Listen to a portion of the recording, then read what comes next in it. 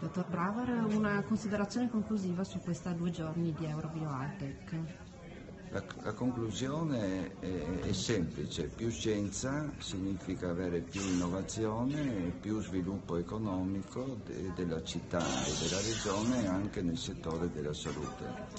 Abbiamo, avuto, eh, abbiamo scoperto che in Italia produciamo più di 30 miliardi di euro di, di fatturato eh, in, questo, in, questo, in, questi settori e che abbiamo scoperto che probabilmente ce ne sono altrettanti nei paesi dell'est con cui confiniamo e dovremo intensificare gli scambi economici in questo settore.